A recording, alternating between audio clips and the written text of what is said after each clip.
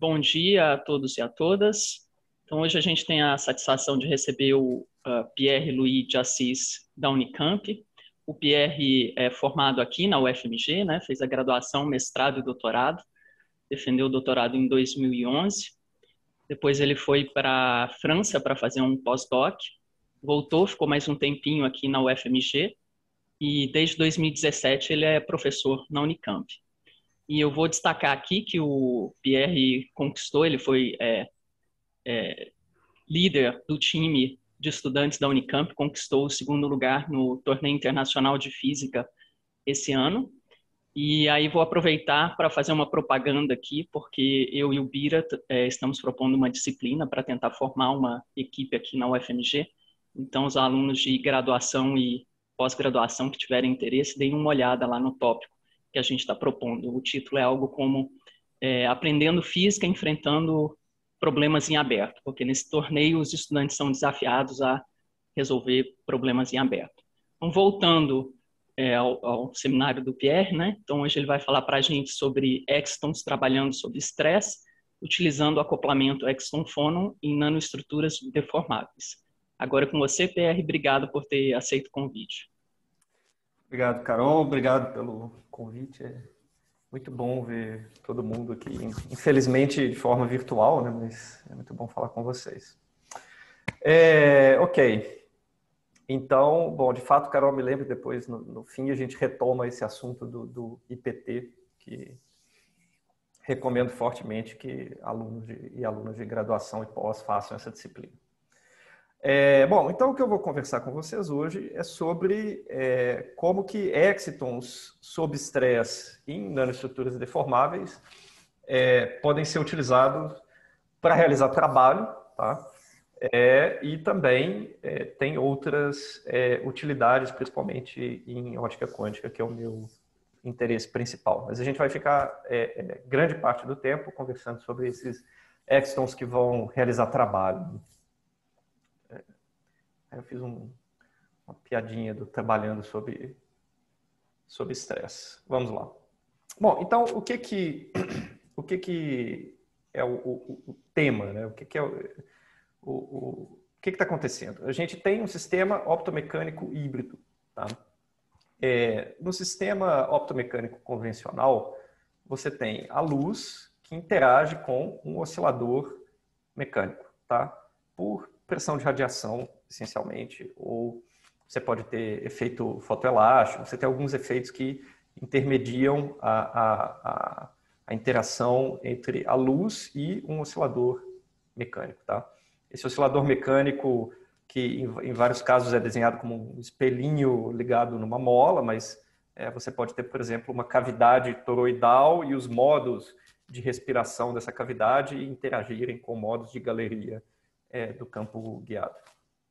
No sistema híbrido, a coisa muda um pouco. A gente, em vez de ter a interação entre luz e oscilador mecânico direta, ela é intermediada por um sistema quântico. Tá? No caso, um sistema de dois níveis. E no nosso caso especificamente, esse sistema quântico vai ser é, um ponto quântico com um, um exton dentro, né? um exton confinado num ponto quântico. É, o interesse nesses sistemas vem de lá atrás, vem de 2004, é, quando o Inácio Wilson Rey, trabalhando com o Peter Zoller e o Atati Mamoglu, é, pegaram ideias que já existiam na, na, na física atômica, né, no, no pessoal que trabalhava com íons, e aplicaram a um ponto quântico, que está aqui desenhado, esse objeto parece uma, uma lentezinha, dentro de uma estrutura que é um oscilador mecânico. Né? Então, a dinâmica desse sistema é muito parecida com a dinâmica do, dos, é, é, dos sistemas é, de íons, e eles falaram, bom, se a gente é, conseguir levar esse, esse sistema para um regime de bandas laterais é, resolvidas, né, onde você tem bandas laterais que vão aparecer no seu, no seu espectro devido ao acoplamento é, entre o ponto quântico e o, o oscilador mecânico, se você bombeia numa banda lateral, você resfria, se você bombeia na outra, você aquece. Yeah. E eles mostram que. Diga. Esse oscilador mecânico é clássico. Clássico, clássico, clássico. clássico. Mas aí que tá. eles propõem que se você bombeia é, é, é, com esse esquema, dentro de condições que ainda nunca foram atingidas, é, você poderia levar esse oscilador para o seu estado fundamental quântico. Tá?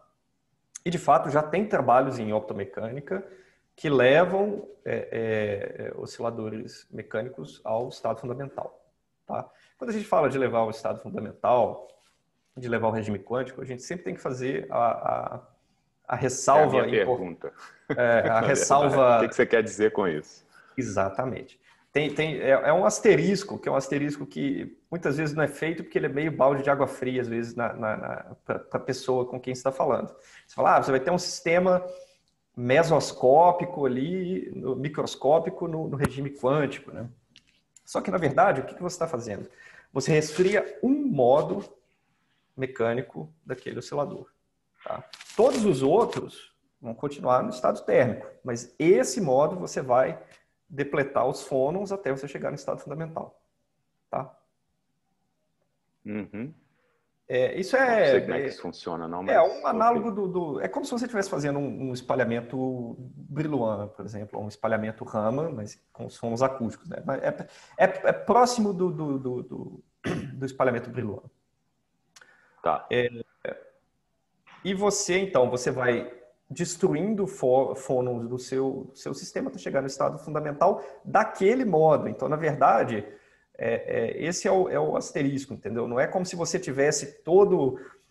É, é, é, quando, quando você tem um, um objeto né, com, vários, com vários modos mecânicos, com muitos graus de liberdade, e você fala que ele está no estado quântico, mas é, o que, que é esse estado quântico? Né? É, um, é um grau de liberdade dele que foi para o estado fundamental. Né? Não é, Enfim, continua sendo super empolgante, mas talvez seja menos empolgante do que algumas pessoas possam achar. Tá? É, eu só não estou entendendo é como que, sei lá, efeito de ponto zero vai, vai acontecer no sistema que é já que já está no limite clássico, você entendeu? Então, é, é porque, né? Não, então, exemplo, mas você, você é porque é porque você tem que pensar o seguinte: é, a gente está falando de um modo do oscilador, tá? E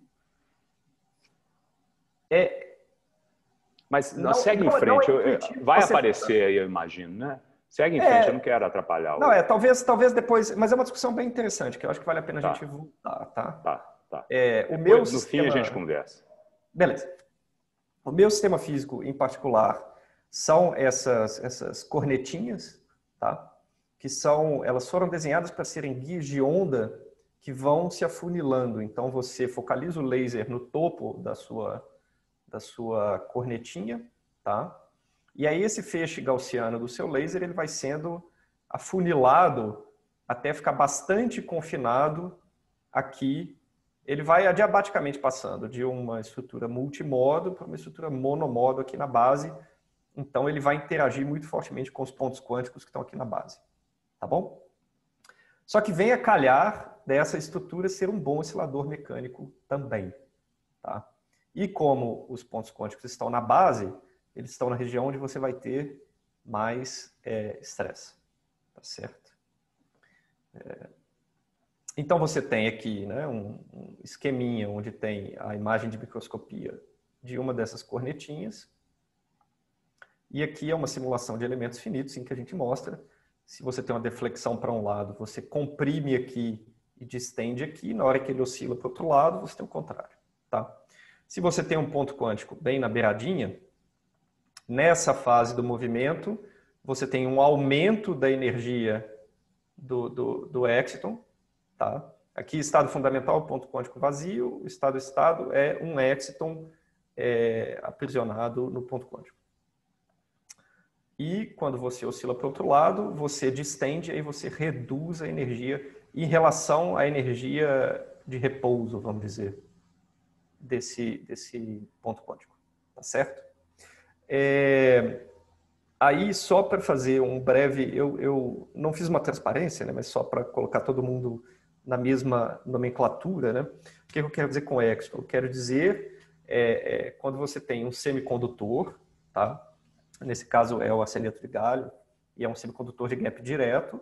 Dentro, em cima dele você cresce um nano, você cresce nanocristais de arseneto de índio, né? Você evapora índio e arsênio e eles vão ali formando nanocristais na superfície. E depois você recobre com arseneto de gálio. Então você já cria ali uma estrutura de confinamento, né? um poço de potencial, é, parecido com um poço de potencial é, em três dimensões.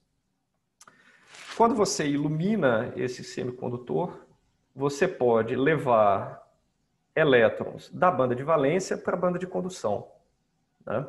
Só que esses elétrons podem também se ligar à carga positiva que ficou ali na banda de valência, se ligar ao buraco, tá? por interação de Coulomb, e formar alguma coisa é, é, é, hidrogenoide, que é o exciton.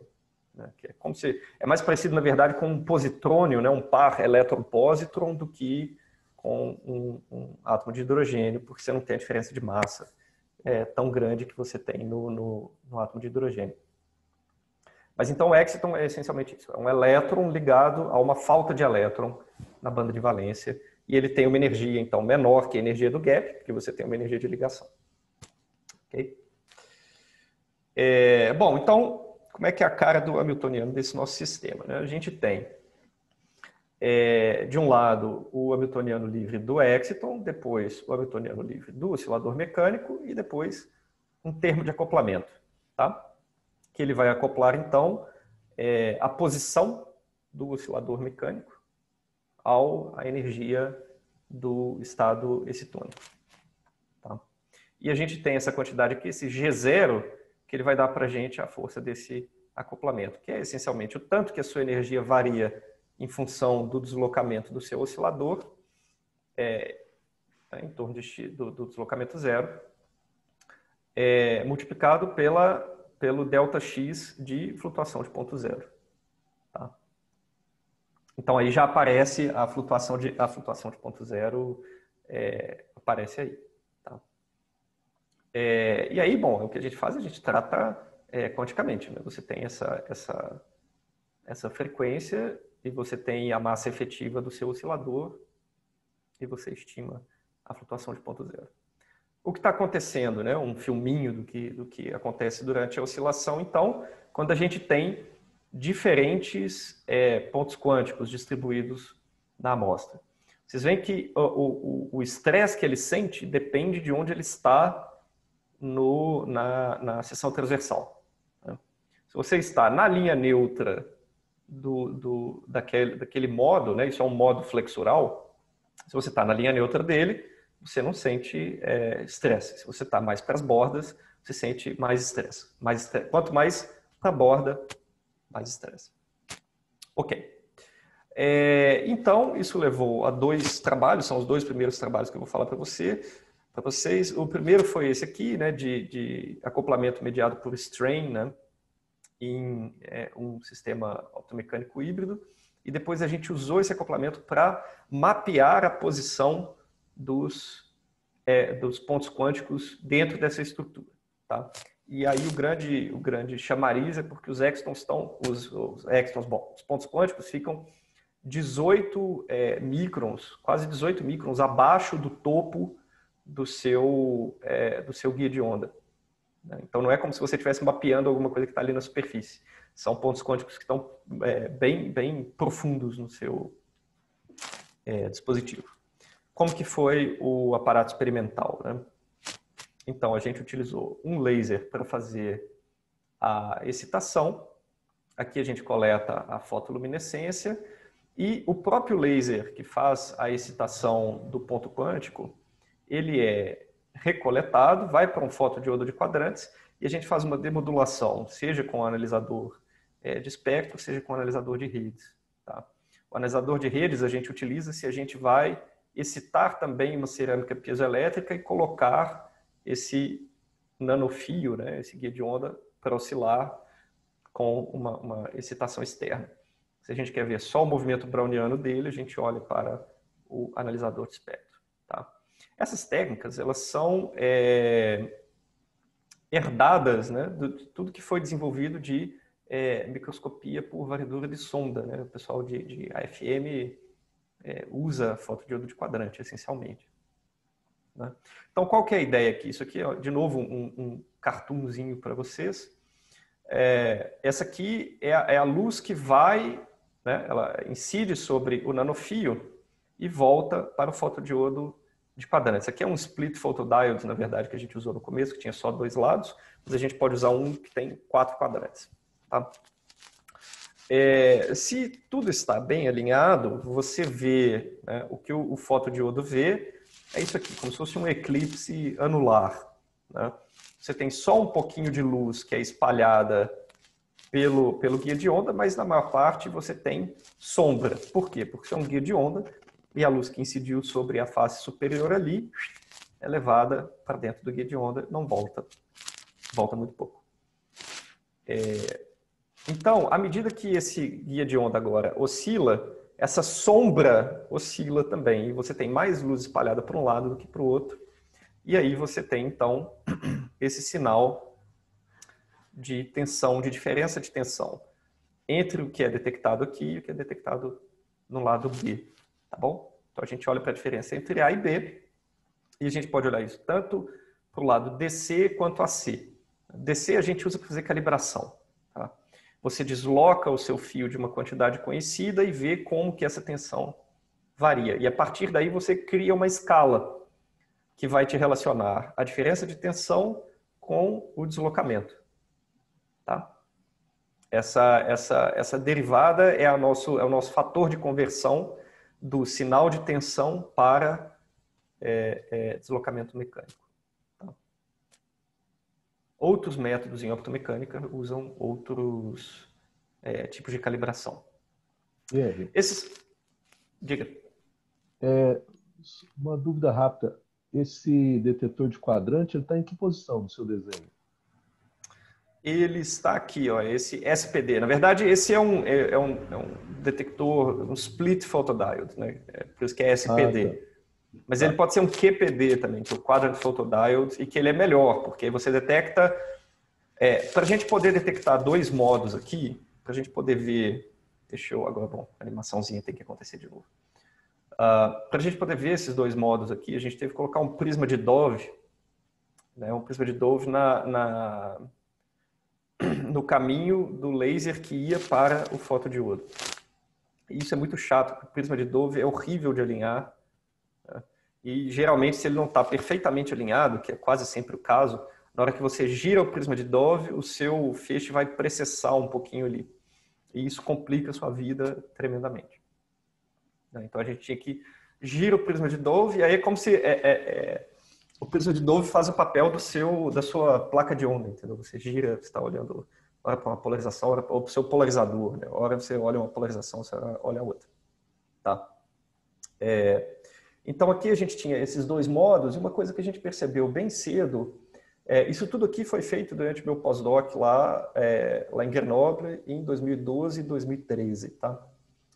É, então eu, eu, estou contando para vocês uma história de, que dura praticamente 10 anos, tá? É, lá no começo a gente já percebeu esse splitting de frequências aqui, né?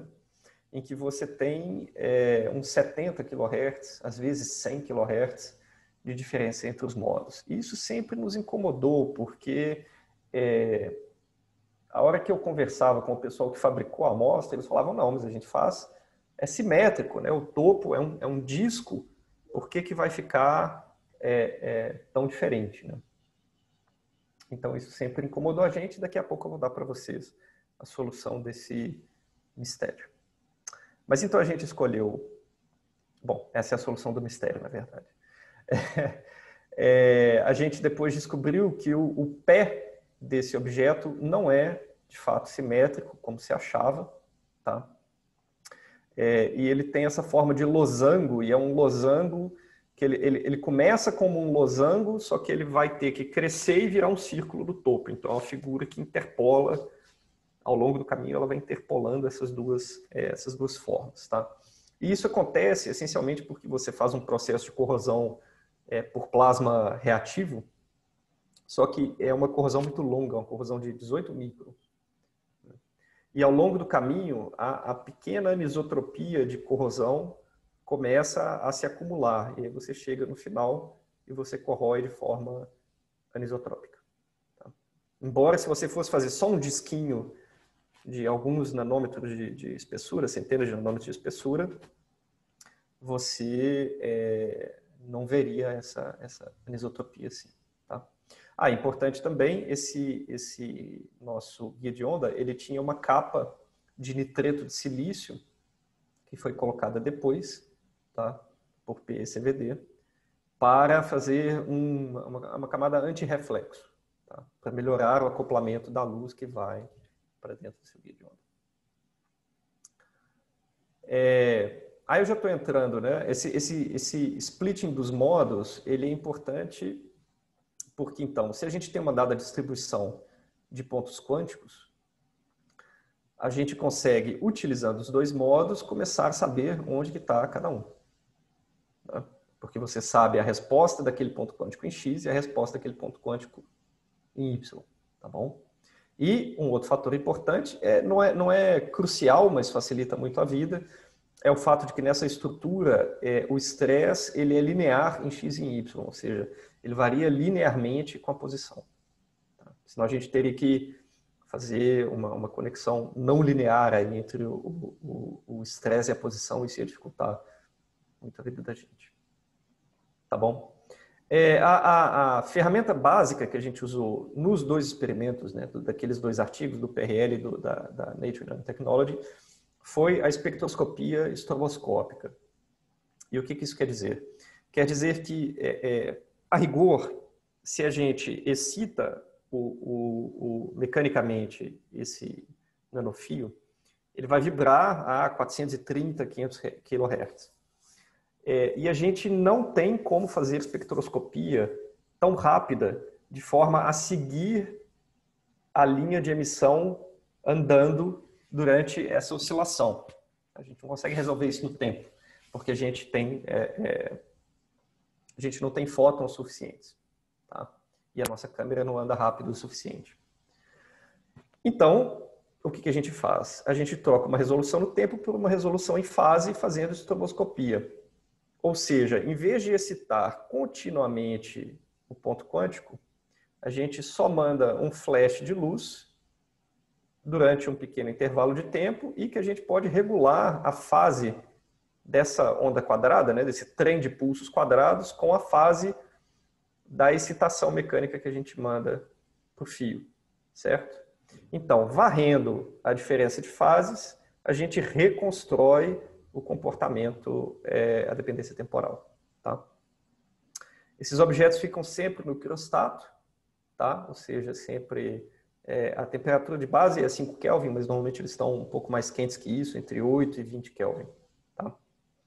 É, isso porque a alta temperatura, esses excitons é, não vão ficar confinados no, no ponto quântico, é, não, a gente não vai ter uma largura de linha tão fina, enfim, é, é, você não consegue ver os, os efeitos. Tá? E o que a gente viu no primeiro trabalho foi isso aqui, ou seja, Aqui em cima eu vario a frequência de excitação e monitoro continuamente. Isso aqui não é estroboscópico, tá? Esse é uma excitação contínua e aqui eu vario a frequência de excitação, tá? E aqui o que, que eu vejo?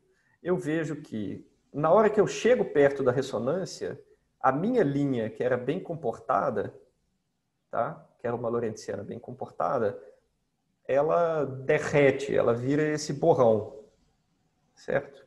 E aqui, se eu aumento muito a potência da minha excitação mecânica, eu começo a ver, inclusive, não linearidades e bistabilidades. Né? Minha, minha forma de... de a, a, essa aqui é essencialmente a lorentziana mecânica que a gente vê. Né?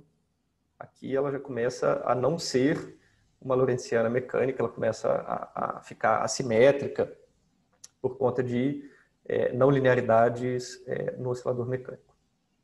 Mas aqui a gente fica no regime linear. Tá?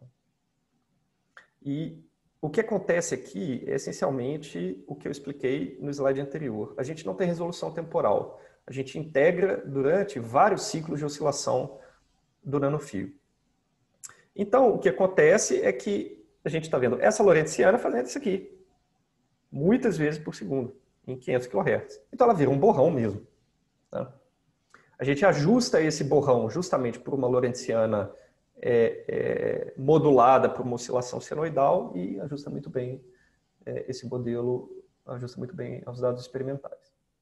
E aqui é a reconstrução em fase tá, da, é, da oscilação, ou seja, que é, é, como se fosse a reconstrução temporal variando a fase. Certo? É, e a gente vê então que ele segue senoidal, muito bonitinho, que quer dizer que você tem um acoplamento bastante linear entre a sua é, energia do ponto quântico e a oscilação mecânica. E aqui a gente viu essencialmente como que a energia, é, como que é a diferença, né, como que é o shift em função da amplitude da oscilação e a partir disso a gente deriva o G0. Tá? É, o, o, X, a flutuação de ponto zero a gente deriva das, das medições de movimento browniano. Se você conhece o movimento browniano, conhece a temperatura, você deriva a, a flutuação de ponto zero. E a gente chegou então a esse G0, que é da ordem né, meio megahertz, 500 kHz. Ele é um pouco maior do que a frequência do modo usado, que foi o modo de 437 é, kHz. Então, esse regime que alguns chamam de Ultra Strong Coupling, e que eu acho que é um nome um pouco problemático, porque fica parecendo que a gente chegou no Strong Coupling e passou do Strong Coupling, mas não, não é, a gente não chega no Strong Coupling. É, ele é Ultra Strong é, nesse sentido. Mas esse sentido tem uma utilidade que vai aparecer daqui a pouco. Né?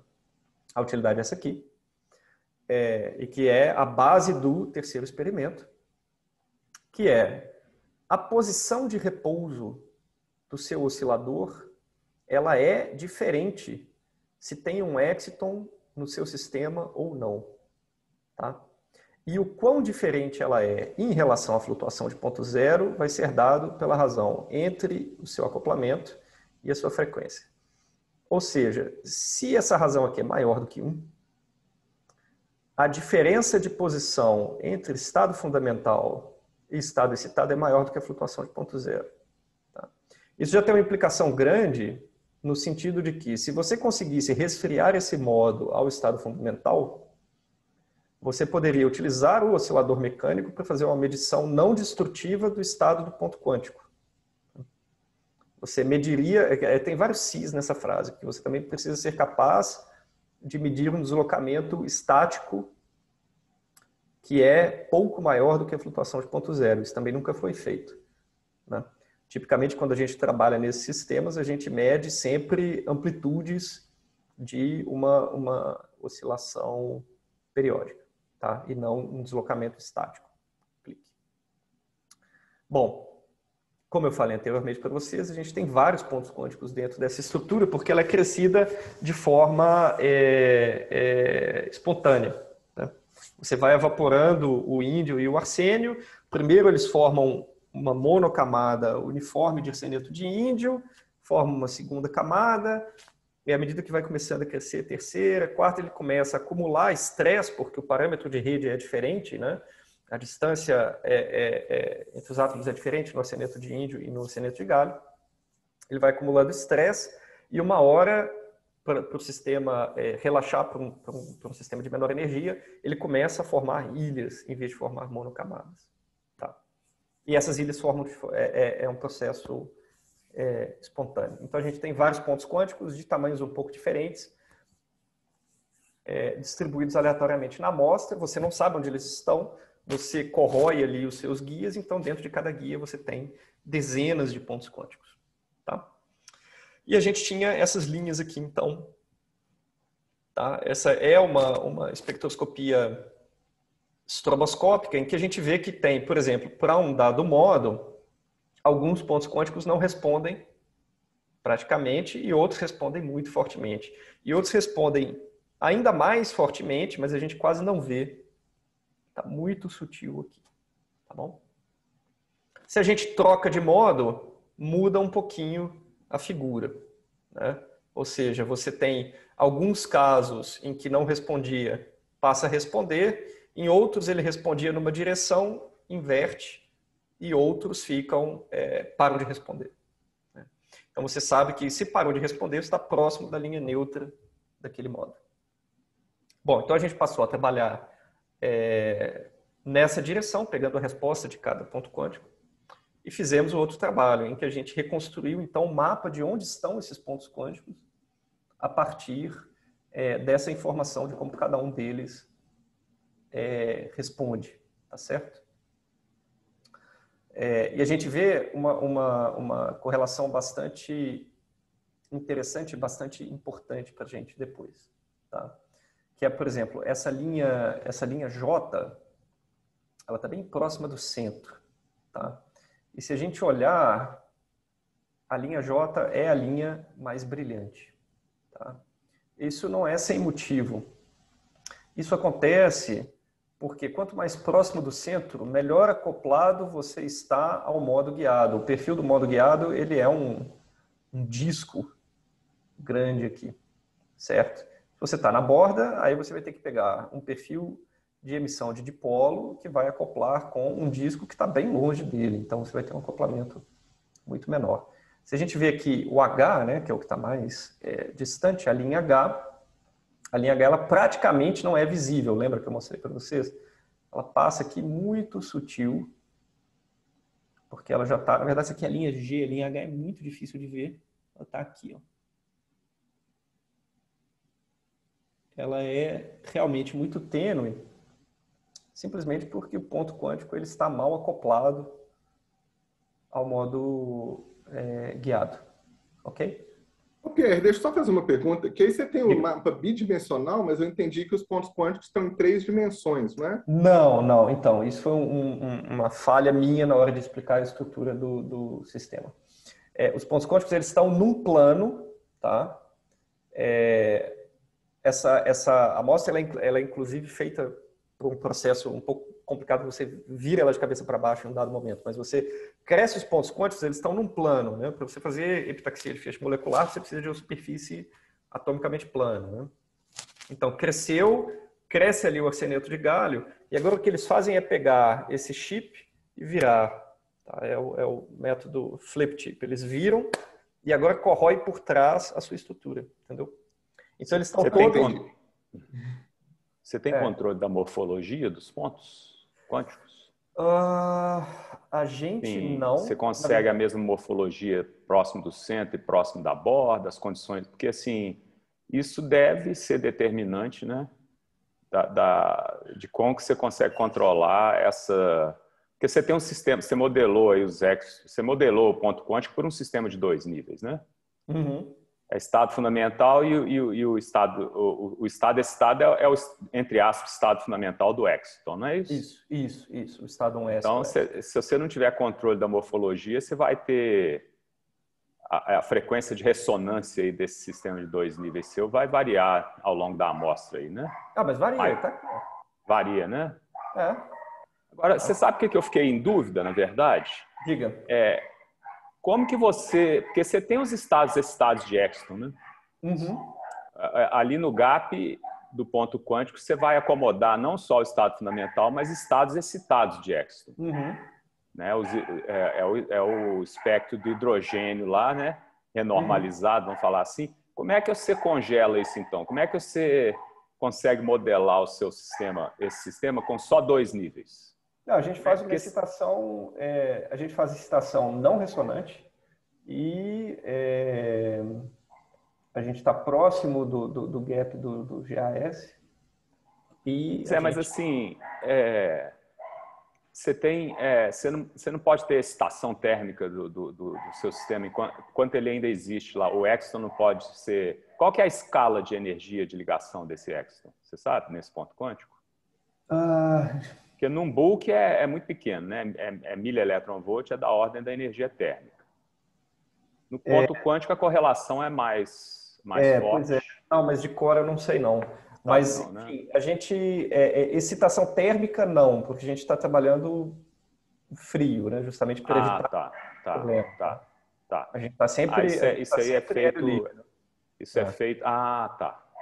ah, o experimento é feito em baixíssimas temperaturas. Sim. Ah, entendi. Isso é tudo. Então, isso, isso é, é temperatura ambiente é, é, outra história, né?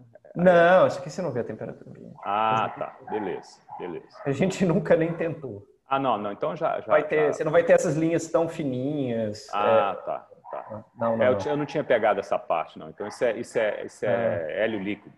Ah, é. Tá. Tá. A, gente tá, é, a gente trabalha sempre. A gente trabalha sempre. Beleza, beleza. Não, justamente, a gente, a gente excita não ressonante. É, a gente é, é baixa excitação, a gente está abaixo da saturação, tá? A gente trabalha abaixo da saturação desses extons. Justamente. Bom, você vai ver daqui a pouco. É, é, exatamente aqui, tá vendo? Que eu ia. Era, era o próximo comentário, talvez, que aparecesse. Que a gente vê que tem. É, tá vendo que tem uma chave em torno do E, A, B. Se bem que eu estou em Minas Gerais, posso falar E. Do E, A, B e F. Né? É, o que, que é essa chave? Essas são famílias de excitons. Tá? Que quando você faz a análise, eles todos caem no mesmo ponto. E aí você fala, ok, então é, isso é tudo o mesmo ponto quântico. E o que a gente está vendo aqui provavelmente é um exciton, um trion. Um, eu não lembro se a gente chegou a ver biexciton aqui, acho que não. Um, e ainda tem a coisa bacana que é, por exemplo, E2 e E2 linha, E2 e E2 linha, são muito próximos, tá? O splitting de energia é muito pequeno.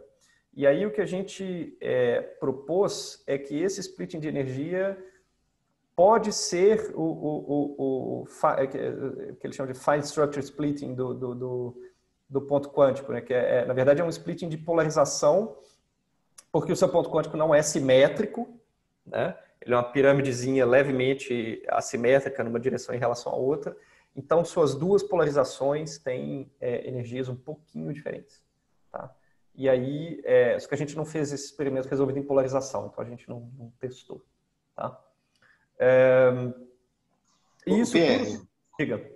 Léo, é, eu, eu, agora que eu entendi, eu acho que eu entendi as coisas, deixa eu te fazer uma pergunta. Mano. No início, você falou que o movimento lateral do, pé, do, do, do oscilador, é, quando ele ia para um lado, aumentava a energia, quando ele ia para o outro, diminuía a energia.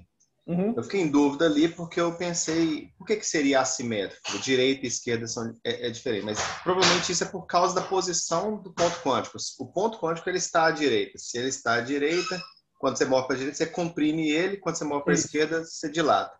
Isso. Aí a minha dúvida é a seguinte: como o ponto quântico está enterrado a uma profundidade, como é que você sabe que a, a tensão, quando você vai para a direita, ela ocorre no ponto quântico é, e não de uma forma variável ali embaixo? Ah, então. É... Ocorre igual para todos os pontos quânticos à direita, é isso que eu quis dizer? Ou ela não. ocorre variável? Não, então, olha só, isso eu, eu... Deixa eu tentar voltar. Eu já, eu já peço desculpas se tiver alguma animação no meio do caminho. Mas é isso aqui, ó. A gente faz uma simulação de elementos finitos, tá? E a gente vê, é, é, assim, é uma coincidência muito feliz, porque esse, esse dispositivo não foi desenhado para esse tipo de experimento, tá? Ele foi desenhado para ser uma fonte de fótons únicos para fazer ótica quântica, tá?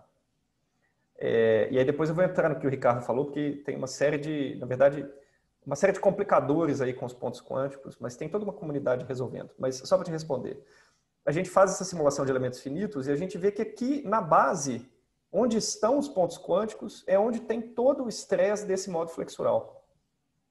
Tá? É, e é por isso que uma, uma, uma assimetria aqui te joga tão para longe os, um, um, modo flexural do outro. Né? Ou seja, oscilar em Y e oscilar em X é muito diferente, porque o que importa é que aqui é muito diferente. Tá? E aqui o que a gente viu é que o estresse, é, aqui eu coloquei o color map, né, mas você pode, você plota aqui uma, uma, uma, okay. uma linha né, nesse eixo principal, nesse aqui, você vê que ele varia linearmente, até muito, muito próximo da borda você segue linear, tá? o estresse. E é isso que você falou, quando, quando ele está inclinado para a direita, todos esses extons aqui estão com menos energia e esses aqui estão com mais energia do que o repouso. Na hora que ele inclina para o outro lado, inverte. Tá bom? Certo, obrigado. E é essa, essa é, é, é, na verdade, essa é a estratégia, entendeu? De, de, aproveitar, tá vendo aqui, ó, o A, ele vai, ele, ele diminui energia e depois aumenta. O C é o contrário, ele aumenta energia e depois diminui. Tá? Então, A e C, eles não podem, eh, tá vendo? Ó? O C está aqui para cima e o A está aqui para baixo, tá certo? E eles vão então, como eles estão em quadrantes que são é, é, opostos, né, diagonais, isso vai acontecer nos dois modos, tá vendo? Agora a gente pode procurar também, ó, por exemplo, é, o problema é que é difícil de achar um que seja fácil de ver. Uh, bom, o H e o A, né? Que a gente veria que o H ele ele está indo, só que é super difícil de ver. Eu não coloquei a figura que tinha as linhazinhas aqui, mas ele vai, ele aumenta e depois diminui e o A diminui e depois aumenta. Só que aqui nesse outro modo ele segue ele segue igual A, entendeu? Ele diminui depois aumenta a energia. Tá. Ok, então a gente consegue é, mapear, a gente vê que tem essa correlação entre é, o, quanto, o quanto você detecta de luz e, e, a posição. Inclusive, isso foi usado depois por outras pessoas do grupo para fazer uma outra técnica de mapeamento, é, que era até uma coisa que eu via quando eu fazia o experimento aqui. Né? Que se, você, se você passeia com seu feixe de excitação sobre a face superior do seu guia de onda, dependendo de onde você está, você vê a posição dos. Ou seja, na verdade, que não é exatamente monomodo, né? é um pouco multimodo ainda, e você ainda consegue mover a intensidade do campo elétrico um pouquinho, o máximo de intensidade um pouco mais para cima ou para baixo. Tá? Uh, e aqui a gente confirmou, né? a gente fez é, é, excitação em função da potência, e a gente vê que você tem é, comportamento sublinear, supralinear, né? Então, supralinear, sim, é o, é o, o né? Falei que eu não lembrava, mas sim. Na verdade, não só... Você vê, né? eu que fiz a figura e ainda é, é, esqueci o próprio código de cores que eu coloquei. Que, na verdade, se está azul, é Biexton. Que é o comportamento é, supralinear, né? Deveria ser quadrático com a potência. Então, aqui a gente vê, isso aqui é um exciton, que depois de uma certa potência satura, e aqui você tem o Biexton, que continua seguindo, já está quase dando uma intenção de saturar. Né? Aqui um Exciton, é, ou um Exciton com splitting, ou um Trion com splitting, e o, né, Exciton e Trion, e aqui o Biexton. E aqui a gente provavelmente vê Exciton e Trion, Exciton e Biexton. Ok. Outras coisas aconteceram depois, né? É, o grupo do Richard Warburton é, fez um experimento utilizando a mesma amostra, foi uma amostra enviada pelo grupo de Grenoble para eles. É, e o que eles viram foi o seguinte: quando você faz o G2, né, que é a correlação, é, a correlação de fótons, você vê, bom, como ele é um emissor de fótons únicos, aqui você tem um, um dip. Só que quando você começa a olhar para tempos, é, diferenças de tempo muito mais longos, você começa a ver uma oscilação. Eles perceberam isso e demodularam essa oscilação e reconstruíram esse espectro de potência aqui. Tá? E nesse espectro, eles identificaram as frequências de vários outros modos mecânicos. Tá? Então, não só modo flexural, como o T, que é um modo de torção. Aí o segundo modo flexural, um modo de respiração. Tá? É, e aí já o terceiro modo flexural. Claro, dependendo de como você aplica o estresse aqui, de que tipo de estresse você aplica, você vai ter mais ou menos resposta do seu ponto quântico. Mas toda essa resposta, ela aparece aqui. E isso aqui acontece porque você vai modular a energia do seu, do seu ponto quântico. Né? É... Então, bom, esse foi um trabalho interessante que depois gerou um outro desdobramento é, em que o pessoal de Grenoble falou, bom, então se isso acontece, isso degrada a pureza dos fótons únicos que você é, emite. Então, você tem considerações a respeito disso também. Esse é um, um, um trabalho que foi feito. Diga. Desculpa, por que, que você consegue citar todos esses modos? É, você cita com aquele PZT, né, que está no, no, experimento? Não, então, não. Aí é uma, uma, uma, uma coisa importante. É, eu não tenho mais certeza se nesse trabalho eles fizeram com PZT, tá? Você pode conseguir excitar com, com peso, aqui é 60 MHz, já começa a ficar complicado, mas dá. A minha pergunta é simples, a largura de linha é, é grande dessa frequência de excitação? Ou eles estão muito próximos? Não, eles não estão muito próximos, mas você pode variar a frequência do seu peso, né? É, você tem um, quer dizer, bom, desde que você tenha um peso que responda naquela frequência, você não é não é a ressonância do peso, né? O peso é excitado não ressonantemente, mas ele responde. Tá? Inclusive, se você passa pelas ressonâncias naturais da sua cerâmica piezoelétrica, é um problema, tá? No meu sistema tinha isso e quando e era perto de 500 kHz a frequência de ressonância da cerâmica e quando o, o sistema é, quando, quando, porque a, a, depois eu vou falar disso, mas esses, esses objetos, a frequência de ressonância deles varia com o tempo por conta de efeitos espúrios ali no criostato. E quando ele transitava por cima da ressonância do piezo, um pico mecânico de, de oscilação virava três, por exemplo. É, é, vira vira uma, uma, festa, é super complicado. De, de, então a gente evita isso, tá? Mas o que você vê aqui também é, é excitação térmica.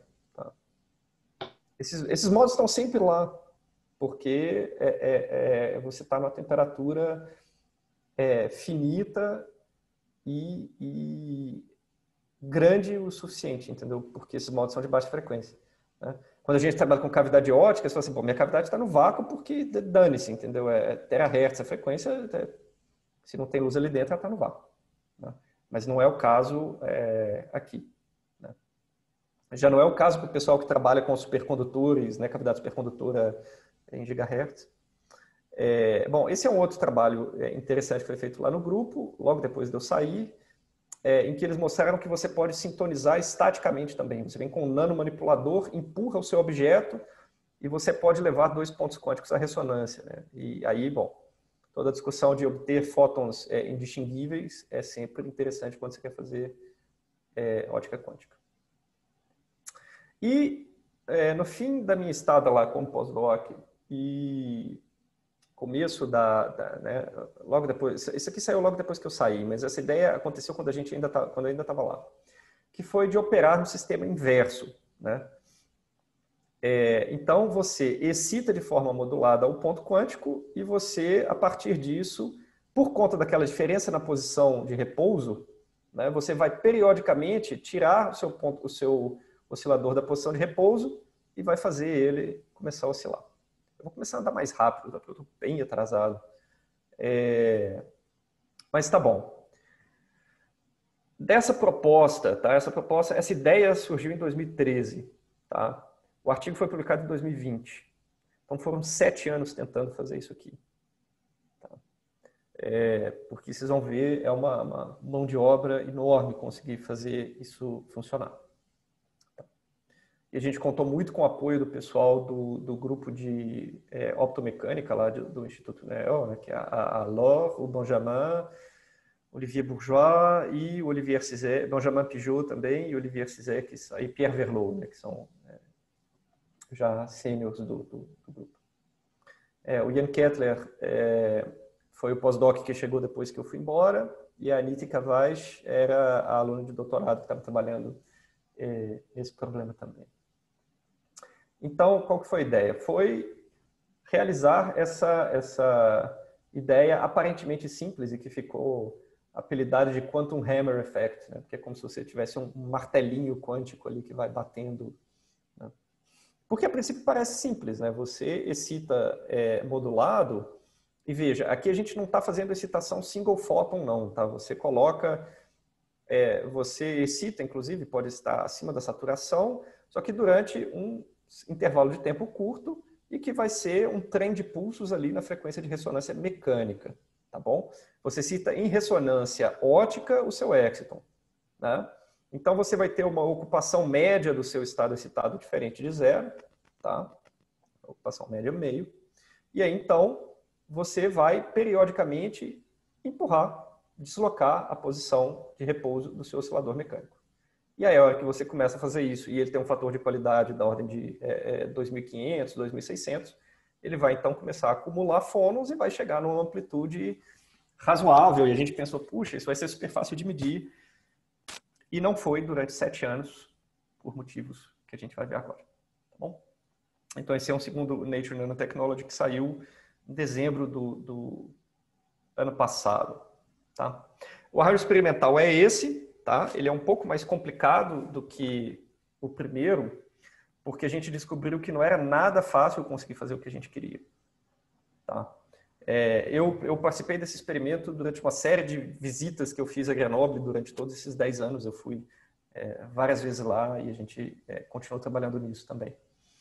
É, a primeira coisa importante é esse ramo aqui, que é o ramo de detecção de movimento. Então aqui você tem o seu laser, que vai incidir, volta e agora ele vai para uma APD. Depois eles mudaram, eles não usam mais o, o, o fotodiodo de quadrantes para detectar movimento, você pode usar simplesmente uma, uma APD, tá bom? O sinal da APD, ele vai para um PLL, que é um Phase Locked Loop, tá? Que é um sistema de controle por feedback que vai pegar um, um, um oscilador e travar aquele oscilador numa dada fase que você escolhe? É, então, esse é o ramo de detecção mecânica, esse é o ramo de excitação ressonante, tá? Esse laser de excitação não ressonante, ele é bem pequenininho a, em intensidade, a gente coloca muito pouca intensidade, e ele é o que chama de quietening laser, que é uma, uma técnica que vários grupos é, passaram a usar para melhorar a qualidade da emissão de fótons do seu ponto quântico. Tá? Você faz uma pequena excitação não ressonante, você gera um monte de excitons naquela monobicamada de, de arseneto de índio que cresceu antes de crescer os pontos quânticos, e esses excitons vão passear pela sua amostra e saturar tudo quanto é armadilha de carga e tudo. Você estabiliza o seu ambiente é, eletrostático, tá? e você então é, diminui as flutuações de energia que acontecem no seu ponto quântico por conta de é, do, do, ambiente eletrostático dele ali. Tá? Esse é o laser ressonante, é um tóptica que é, é, sintonizável, mas ele não é continuamente sintonizável, ele não é um, um, um CTL, né, Continuously Tunable Laser. Ele é sintonizável eletronicamente, mas só dentro de uma faixa é, relativamente estreita, 10 GHz. Depois que saiu dessa faixa, você tem que ir lá com uma, uma chave Allen, mexer na grade e, é, enfim, Daqui a pouco vocês vão entender o que isso significou para o Ian enquanto ele estava fazendo esse experimento. Tá? A parte de, de espectrômetro e uma, uma outra APD aqui, porque a gente pega, a gente está interessado em um ponto quântico só, então a gente joga a linha desse ponto quântico nesse fotodiodo de avalanche para sempre detectar como está a fotoluminescência daquele ponto quântico. Ok? E por último aqui, uma estabilização de posição. Tá? Que já é a primeira das estabilizações que a gente vai ter. Tá? Essa estabilização de posição, ela significa o seguinte, você tem um outro laser aqui que vai monitorar a posição do seu, é, do, do seu guia de onda, tá? E qualquer pequena variação em X ou Y vai para um fotodiodo de quadrante, que eu já falei para vocês, vai gerar uma diferença de tensão, certo? E agora um PID vai agir não sobre o, embora esteja aqui, a rigor, a gente age sobre objetiva, tá? É um sistema que tem aí, a gente comprou para o laboratório do Paulo Sérgio também, é um, é um, é um suporte de objetiva que você controla com piezo em XYZ, e aí, quando você coloca um PID, você então estabiliza em cima daquele objeto e você vai seguindo o objeto ao longo dos dias, porque ao longo de uma semana de experimento, o seu quirostato tem é, drifts térmicos de posição e, enfim, se você não seguir, você não consegue fazer o experimento, tá? Todos os lasers aqui estabilizados em potência também, tá? A estabilização de potência usando um modulador acústico-ótico e PID também, tá bom? E esse modulador acústico-ótico que está explicitamente indicado aqui recebe uma entrada do PLL porque ele é o modulador que vai fazer aqueles trens de pulsos, tá? E o PLL ele vai manter a fase constante, variando a frequência de excitação. Tá? Ok, esse é o resultado final. Eu vou começar mostrando o resultado e depois contar é, a história toda. Meu tempo já está quase estourando, mas enfim. É, depois eu vou contar a história de como que a gente chegou nessa figura que parece inocente, simples e realmente como que eles não viram isso antes. Então, veja bem, isso aqui é, a gente está variando o detuning do laser, ou seja, variando a energia do laser em torno da ressonância do ponto quântico. E, bom, aqui em cima a gente vê a fluorescência. Então, a gente vê o que a gente esperaria de uma fluorescência ressonante. Você varre e na hora que você tem a fluorescência, é, você tem o pico da Lorentziana. Ok. É, aqui a gente vê a amplitude da oscilação mecânica, mas aí já vem o primeiro porém. O ponto quant, o oscilador mecânico, ele está sempre sendo excitado mecanicamente. Não por via de um piezo, mas por via ótica. A gente faz uma excitação fototérmica, tá? que a gente descobriu meio que é, é, por acaso também, eu, eu, percebi essa excitação fototérmica das primeiras vezes que eu tentei fazer esse experimento, e eu vi muito claramente um sinal é, é, é mecânico muito bonito, e falei assim, puxa, mas está fácil demais. Só que esse sinal mecânico não variava em função da energia do laser, então não era o sinal que eu queria. Mas é um sinal é, simplesmente fototérmico. Você, o seu laser aquece o seu, a sua estrutura, tá? E como a estrutura não é perfeitamente simétrica lá na base, tá? Tanto a, não é nem o losango que eu estou falando, mas ela, os pontos de ancoragem dela aqui embaixo não são perfeitamente simétricos também, tá? Então, na hora que ela dilata, ela inclina. Se ela fosse perfeitamente simétrica, ela só respiraria, né? Mas na hora que ela dilata, ela inclina um pouquinho e isso é o suficiente para fazer estação fototérmica, tá bom? Sinceramente, a gente observou que isso funciona até se você joga o laser no substrato ao lado da, da, do, do guia de onda. Tá? Porque você cria pulsos de dilatação no substrato e esses pulsos, de alguma forma, acoplam com seu é, oscilador mecânico. Você está tremendo ali o, oscilador mecânico. Tá? Tanto que o piezo, na verdade, ele vibra na vertical e a gente excita o modo flexural. Que é o melhor jeito de excitar o modo flexural. Porque se você excitasse com o piezo vibrando na direção do modo flexural, você quebrava o seu objeto, porque o acoplamento é muito forte. Tá? Em todo caso, é, ele não está aqui em movimento browniano, tá? Isso aqui são as quadraturas do sinal. É, então, o, o, movimento browniano ele ficaria aqui, a gente excita ele é, fototermicamente, tá? Então, isso aqui é um, é um movimento coerente do, do, do ele está sempre oscilando de um tanto conhecido, que é 50 picometros. Tá? É, e essa, essa oscilação ela tem uma fase em relação à fase do laser. A fase do laser te colocaria aqui é, para menos y, tá? se você respondesse, é, se ele respondesse instantaneamente. Ele não responde instantaneamente, porque é um efeito térmico. Tá? Então você tem esse atraso que é compatível com o tempo de propagação dos fônons térmicos ali. Então. Mas a excitação induzida pelo ponto quântico, ela é instantânea em relação à excitação do laser. Tá? Então, ela te adiciona um, um vetor que está reto em y ali. De quanto que é essa oscilação? Tá? É, a gente supunha algo da ordem de 4 picometros, o que já é 10 vezes menor do que a, o movimento browniano a 25 Kelvin, que é a temperatura que esse objeto está. O que a gente mediu é da ordem de 0,4 picometros. Aí o porquê disso é porque o ponto quântico não acopla perfeitamente à luz, tá? por diversos motivos. Ele não está perfeitamente no centro, porque se estivesse não se acoplaria ao modo mecânico. Ele também não pode ser o mais da borda, porque acoplaria muito bem ao modo mecânico, mas acoplaria menos ainda. Então você tem um, um, um ponto ótimo aí entre o acoplamento óptico e o acoplamento mecânico. Tá? Só que por outros motivos de flutuações e flutuações de carga e às vezes spin flips, que ele vai para um estado escuro que não responde mais ao campo óptico. Ele só se acopla 10% do tempo aos fótons que estão chegando, então a gente tem 0,4 picometros em cima de 50. Tá bom? É, então esse foi, essa foi, esse era o desafio. Tá? Consegui medir 0,4 picometros de amplitude em cima de uma oscilação de 50 picometros. E aqui a gente vê que a fase varia também. Né? Você tem exatamente essa variação de fase, que é a fase térmica, com essa resposta instantânea, vai te dar uma variação de fase. Certo? Ou, se você quiser pensar de outro jeito, é uma variação na frequência do seu oscilador. Né?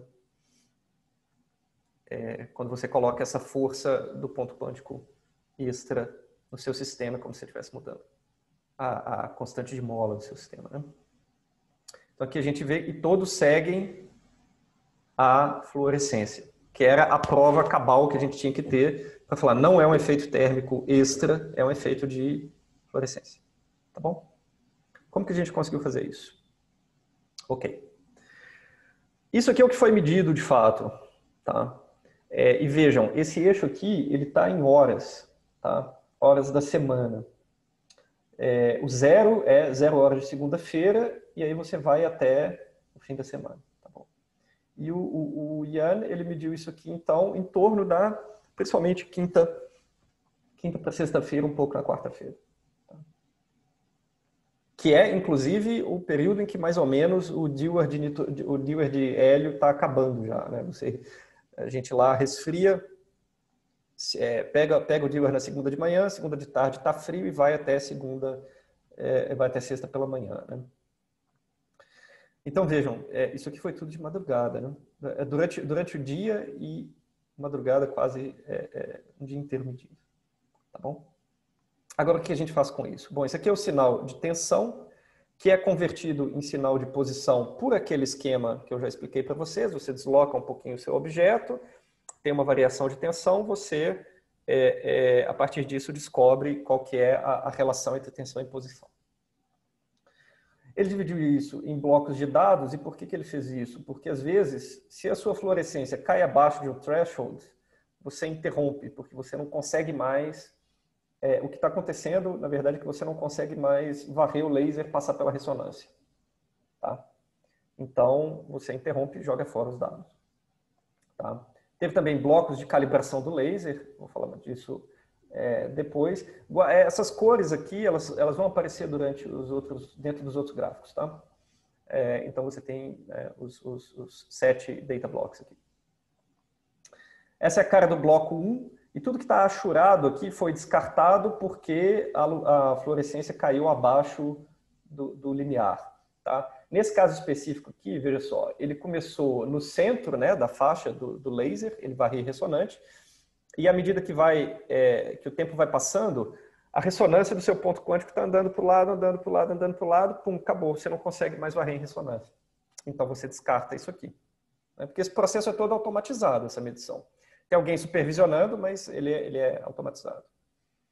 O bloco 5, vejam, tem bastante flutuação, tá?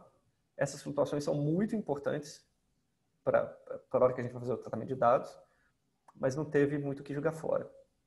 E aqui, bom, teve um finalzinho, mas teve um grande período de, são vários sweeps que ele conseguiu aproveitar. Cada varredura dessa é um minuto, tá? Em que você muda a frequência do laser, né? muda o comprimento de onda do laser, integra no PLL, muda o comprimento de onda do laser, integra no PLL, muda o comprimento de onda do laser, integra no PLL, pá, pá, pá, pá, pá, um minuto, próximo scan, volta do zero, vai, tá bom?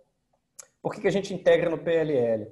Para se livrar do ruído browniano, que é a, a, a variância de posição do ruído browniano é comparável, é 50 picometros também, é comparável à amplitude da oscilação coerente, tá bom?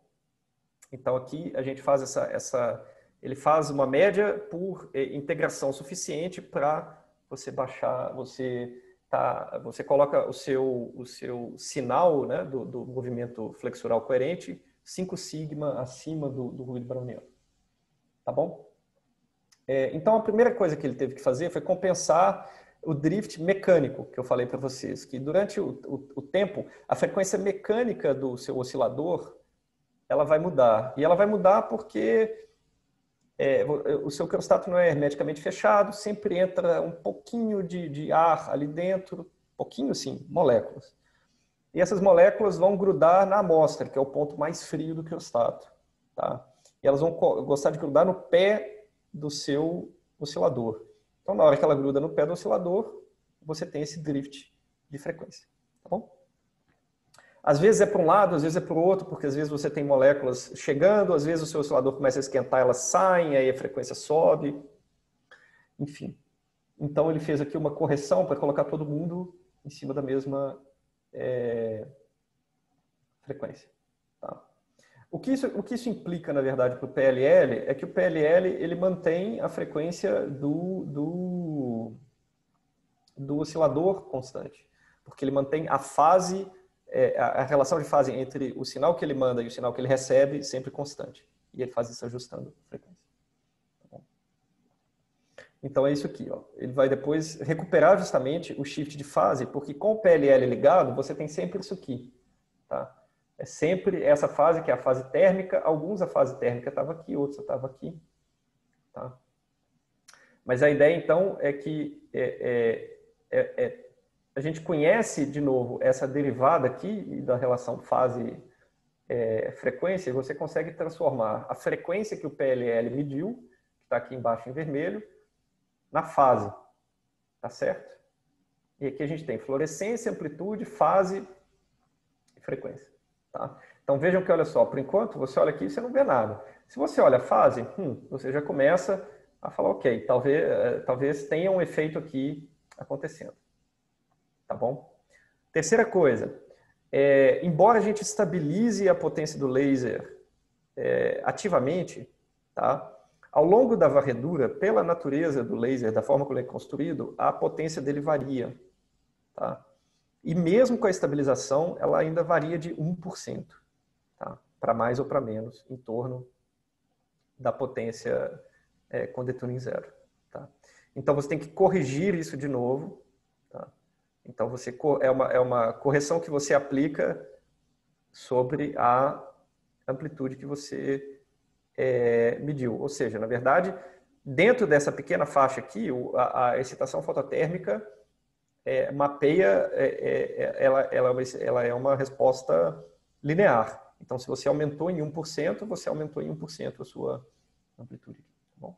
Então, ele corrige aqui. Bom, e agora a coisa fica até mais feia, porque fica parecendo que ficou tudo é, flat. Né? Mas aqui é uma questão de escala, né? porque as escalas estão... E aqui a gente sabe que o efeito é muito pequenininho. Então, veja bem, isso aqui que estava tudo espalhado, já foi... É, isso aqui são os pontos de amplitude médias, né? Para os seus dados. Cada ponto aqui corresponde a um detuning, tá? A um desses pontos aqui é um desses pontos aqui no espaço de quadraturas. Ok, agora você corrige para drifts de medição, porque mesmo com tudo estabilizado, tá? que a gente estabiliza a, a, a posição e tudo mais, você ainda tem drifts que você precisa corrigir, porque você parece que está oscilando menos, mas é porque você não está medindo no mesmo ponto, entendeu? Então você tem que fazer essa correção. Só que como a gente tem a informação, a gente consegue recuperar. Então você sai daqui, para cá. E aqui eu acho bacana, né? Porque é, aqui são os pontos de dados mesmo, tá? E aqui são as médias. E eu acho legal que de repente a gente começa a ver um monte de bolinhas, o que instintivamente você esperaria de um ruído sendo adicionado ao seu é, é, movimento coerente. Se fosse um movimento é, né, é, é, perfeitamente coerente, né? enfim, se fosse uma senoide, seria um ponto aqui. Né? Mas aí, como você tem um ruído ainda nessa, nessa sua senoide, você tem esse, esse disquinho. Ok, depois você alinha os blocos, porque cada vez que você mede, você tem pequenas diferenças, de novo, de alinhamento. Né? Então, isso aqui é uma correção devido à diferença de alinhamento dentro de um bloco de medição, aqui correção entre blocos de medição. Você joga todo mundo para o mesmo é, lugar. E aí, na hora que você faz isso, você começa a ver que hum, aparece alguma coisa aqui que tem cara de é, que tem cara de resposta é, é, com a fluorescência. Né? Aqui eu não coloquei recuperada frequência, então você vê é, recuperada a fase, então você vê a fase está constante, porque é a fase que a gente manda o, o, PLL estabilizar, só que a frequência do a frequência que o PLL usou varia. Vocês vejam, é uma, é uma variação de poucos hertz é, em torno da frequência de ressonância. Ok. Agora, a gente tem a correção para o spectral wandering, que é o fato de que a energia do ponto quântico varia. Tá? Porque que essa, essa é a mais importante, na verdade. Tá? E essa é que vai te tirar disso para essa curva bonitinha. Porque o que, por que, que a gente está vendo isso aqui? Porque para cada varredura o seu, a, sua, a sua frequência de ressonância não está mais no delta E igual a zero, ela, ela varia. E ela pode tanto ir numa direção quanto na outra. Então, se você simplesmente soma tudo sem levar isso em consideração e achata, você não está integrando todo mundo que tem delta E igual a zero, delta E igual, entendeu? Você está somando bagunçado. Você é, é, pictoricamente é parecido com a ideia da Lorentziana que fica andando de um lado para o outro. Só que aqui é, é ruído.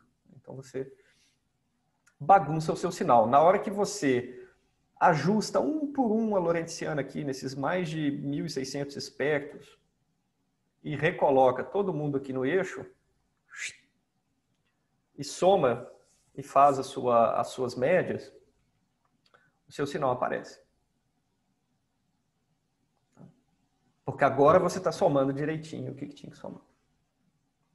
Certo? Bom, então é isso. E é assim que você detecta 0,4 picômetros de, de oscilação em cima de uma oscilação de 50 picômetros. Tá? Parecia fácil, mas demorou sete anos para conseguir todas as estabilizações e todos os truques e é, o equipamento que a gente usou da, da Zurich Instruments é, não existia 10 anos atrás. E, quer dizer, bom, do, pelo menos no Instituto não existia esse PLL. É, enfim, vamos embora que ainda tem mais coisa para falar. E daí? Né, o que, que eu quero fazer a partir de agora, então? É, a minha intenção, já desde que eu entrei na, na Unicamp, é pegar essas estruturas, em vez de trabalhar com estruturas verticais, trabalhar com estruturas planares, porque elas são integráveis dá para você fazer tanto é, é, estruturas com cristais fotônicos, quanto é, é circuitos fotônicos é, integrados e ter a sua fonte dentro do dispositivo. Tá? Inclusive, o, o, Peter Lodal, o grupo dele criou uma, uma spin-off que hoje em dia vende fontes de fótons únicos, tá? numa estrutura de, de parecida com isso aqui, e aí você tem uma pontinha aqui que desacopla para você acoplar no seu circuito. Então, se você quiser comprar uma fonte de fótons únicos do, do Peter Lodel, a empresa chama Sparrow. É, e cristais fotônicos têm vantagens, porque você pode fazer cavidades, né, tipo essa cavidade de nanobin, então você pode ter uma interação forte entre o campo e o ponto quântico aqui dentro. E, ao mesmo tempo, é, já se mostrou que essas estruturas têm modos mecânicos que se acoplam é, muito bem ao modo ótico também. Inclusive, o, o Tiago Alegre é, é, professor aqui do, do, do, grupo, né, do Laboratório de Pesquisa de Dispositivos, é, do mesmo grupo que eu aqui na Unicamp. É, isso aqui foi de quando ele trabalhava no grupo do Oscar Painter, é, lá na Califórnia. Tá?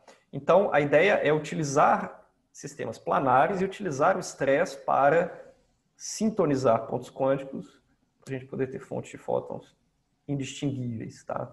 Aqui são umas simulações super rapidinhas que eu fiz, só para mostrar que, é, dependendo do, do, do, modo, né, isso aqui é deformação exagerada, evidentemente, desses tipo, desses nanobeams, e aqui se eu colocasse o ponto quântico no centro, é, o estresse é, que eu veria, né? Aqui eu coloquei é, é verde e vermelho em vez de, de é, azul e vermelho, mas e aqui a linha neutra. Então, por exemplo, para esse modo, o ponto quântico é, que está na cavidade não sente esse modo. Mas ele se acopla muito bem a esse outro modo de 3 GHz. E aí a coisa começa a ficar interessante, porque 3 GHz é mais ou menos é, é, é, um pouco maior do que a largura de linha do ponto quântico, e aí a gente pode ir para o regime de bandas laterais resolvidas lá atrás de 2004 e tentar fazer o resfriamento para estado fundamental desse modo, por exemplo, de 3 GHz. Outra coisa seria ligar de novo, então, né, aproveitar nessas estruturas e ligar de novo o acoplamento luz, oscilador mecânico, então você teria realmente as três coisas é, interagindo. E eu também estou, nesse momento, inclusive, trabalhando mais nisso, é, que é a questão de ir além de pontos quânticos auto-organizados de arsenito de galho, arsenito de índio, é, e trabalhar com materiais bidimensionais. Né? É, em 2015 saíram esses quatro é, artigos na mesma, na mesma edição da Nature Nanotechnology, mostrando que era possível ter é, emissores de é, fótons únicos em, é, de calcogenetos de metal de transição, né, em materiais semicondutores 2D. Né. Então, é, grande parte da minha atenção está voltada para isso. É, o grupo do Métia Taturi, a, a Carmen Palacios Berraqueiro, ela, ela mostrou que se você tem uma estrutura que induz estresse no seu material, esses, esses espetinhos. Na hora que você transfere o, o, o seu TMD para cá, você induz a emissão de fótons únicos aqui na ponta, não só por estresse, mas também porque você, é, é, você tem uma curvatura tão grande ali que você cria defeitos na estrutura e esses defeitos servem de armadilha para os seus é, excitons. Mas aqui você ainda aproveita do que eles chamam de efeito de funil, né? Que quando você tem, é, o, o, quando você aplica estresse aqui, então a, a, energia do exciton vai ficando progressivamente menor à medida que você anda para a ponta. Então seus excitons já são puxados para ponta.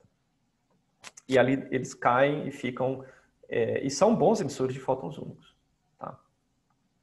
É, por outro lado, a Carmen também mostrou que é possível você construir uma, uma estrutura de LED né, e fazer um quantum LED, um, LED emissor de fótons únicos. Tá? É, e a minha proposta, então, é essencialmente juntar essas duas ideias para você ter essa fonte. Só que agora, esse emissor aqui, ele não é via estresse. Ele é simplesmente um defeito natural no material. Minha proposta é juntar as duas coisas e você ter o emissor onde você quer e é, ao toque de um, de um botão, né? funcionando como LED e não como é, não precisar de excitação ótica. Tá? E mais do que isso, tudo isso em cima de uma estrutura fotônica planar. Tá? Eu consegui um financiamento para esse é, projeto, né, que é o Heteroestruturas 2D é, para fontes de fótons únicos sob demanda integradas. É, é um financiamento da, da Força Aérea dos Estados Unidos, do, do escritório de pesquisa da Força Aérea. É, bom, enfim, o projeto começou uh, alguns meses antes da pandemia, então tem esse pequeno problema. Tem uma vaga aberta para pós-doc para começo imediato. Tinha um pós-doc trabalhando com a gente, mas ele foi contratado pela Mackenzie. Então agora a vaga está aberta novamente. É o Henrique Guimarães Rosa, talvez alguns de vocês conheçam ele. É, e tem no momento, bom, tem três pesquisadores né, trabalhando nisso. Tem eu, tem a, a Ingrid, que falou com vocês há pouco tempo, é, e tem o Felipe Barbosa, que trabalha com a parte de nitreto de, de silício, ótica não linear integrada e também é, ótica quântica integrada, né, mas aí é, é, é mais variáveis contínuas. Né? Então a ideia é trabalhar com nitreto de silício para ser transparente a esses fótons. Né? Tem um, um um aluno de mestrado trabalhando nesse projeto. O projeto, projeto específico dele é mais é, é, heterobicamadas para fazer excitons que emitam em comprimentos de onda compatíveis com fotônica de silício. Tá? E tem três alunos de C, né? um deles, inclusive, que também é designer é, nas horas vagas, que fez esse, esse logo bacana para o projeto. É, mas é isso. Então, por favor, gente, anunciem a vaga, tá? A, a, a bolsa, a bolsa é, é, o, é, o, mesmo valor de uma bolsa Fapesp, tá? É, e estamos procurando então alguém para continuar trabalhando com a gente no projeto, tá? É, e a gente tem que trabalhar rápido nisso, porque o, o grupo do Dirk Englund é, fez uma versão mais simples do que a gente tinha se proposto a fazer, que foi simplesmente colocar o TMD em cima, tá? E funciona, essa é a boa notícia. Né? A, a, a, boa notícia é que a proposta funciona, a má notícia é que a gente sabe que funciona porque alguém fez parecido. Né? Então tem que é, correr com isso. É, então, propaganda, né? de novo. É, esse que é o projeto que já está financiado, tem a bolsa de pós-doc, para começo imediato, a, a, burocracia é só a burocracia interna da Unicamp, que é menor do que se tivesse que ser uma bolsa FAPESP, por exemplo. Tá? É, esse aqui é um projeto de, de, doutorado que ia começar, na verdade, era um aluno de mestrado, que depois podia começar continuar o doutorado, mas ele, ele por conta da pandemia, também teve que abandonar. É, que é a ideia de utilizar é, design inverso, né? ou seja, técnicas de, de métodos de otimização e de aprendizado de máquina, para desenhar estruturas é, é, optomecânicas em que você consiga ter os, o, as fontes de fótons únicos sintonizáveis por estresse e com um bom acoplamento ótico também. Tá? E aqui seria uma colaboração com o professor Lucas Gabriele, aqui da Faculdade de Engenharia Elétrica, que trabalha com é, inverse design é, é, para estruturas é, fotônicas. E essa é uma vaga também que abriu, porque o estudante que fez o mestrado nisso, depois ele, ele é, conseguiu, um emprego de professor ensino fundamental ensino fundamental não, é ensino médio, né? E ele é, não vai não vai fazer o doutorado agora nisso, né? Mas eu quero continuar esse projeto. É um projeto bem bacaninha que é de é, pegar tudo isso que eu contei para vocês de, de, como que extons se comportam sob estresse e tentar construir uma analogia de espaço-tempo é, com isso, tá? usando os extons como é, é, relógios quânticos. Tá? Mas isso é assunto para mais, sei lá, duas horas de conversa. Uh, então, se vocês quiserem entrar em contato, se algum aluno quiser entrar em contato, aluna, é, esse é o meu e-mail aqui na Unicamp. Tá bom? E essa é a cara do, do, do, do departamento onde eu estou. Eu estou em algum lugar aqui. Tá? Esse aqui é o departamento de Física Aplicada. E é isso. Nossa, obrigado. Desculpa ter falado mais de meia hora a mais do que devia. É, perguntas. Ricardo, você tinha. Quer continuar conversando? Calma, Pierre. Desculpa, desculpa, não é porque o Ricardo. Obrigada, Pierre. Interessante o trabalho. vou pedir para o pessoal ligar o microfone para a gente agradecer você antes das perguntas.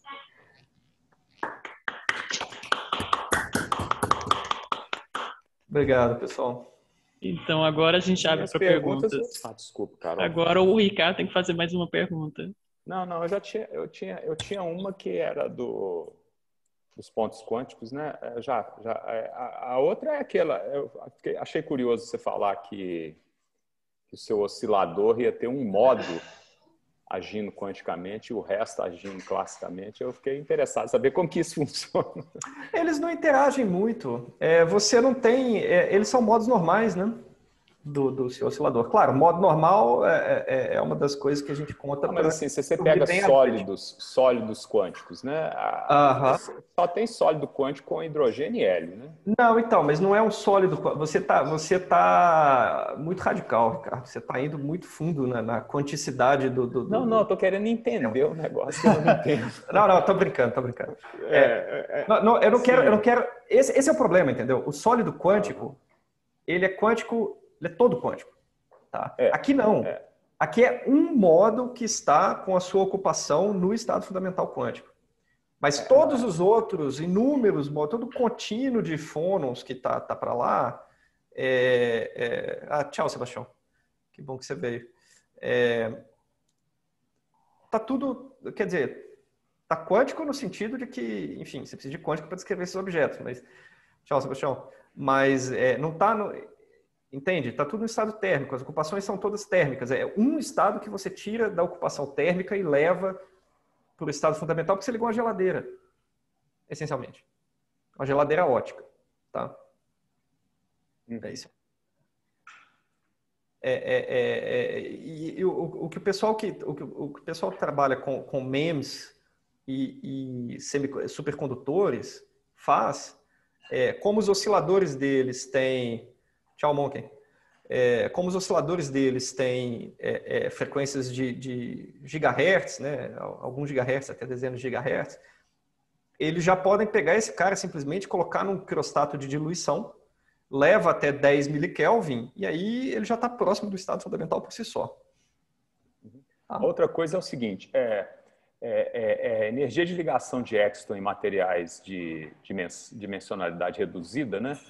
Hum. é, ele é bem maior, pode ser uhum. bem maior do que. Uhum. Isso pode, é, se você trabalhar com o seu sistema quântico aí, né? Se você substituir o ponto quântico por um sistema bidimensional, hum. material bidimensional, pode ser que você trabalhe a temperaturas mais altas, daquele ponto de vista do sistema de dois níveis. É, então, Ricardo, não foi por falta de tentar, tá? É, é, inclusive, você deve lembrar que teve vezes aí que eu fui na sua, na, na foi, sua sala para a gente é. conversar dessas coisas. É, a gente até conversou de algumas bistabilidades, mas aí era de, de, de coisas estruturais, né? Não era exatamente é, do, dos extras. Que era, tem, tem, enfim, tem outras propostas quanto a isso. A gente ficou pensando Outro tipo de sistema de dois níveis. Né? Mas o, o, o que que acontece? A gente tentou fazer isso no mestrado da Ana, tá? Ah. Aí na UFMG, junto com o Paulo Sérgio e a gente não conseguiu, tá?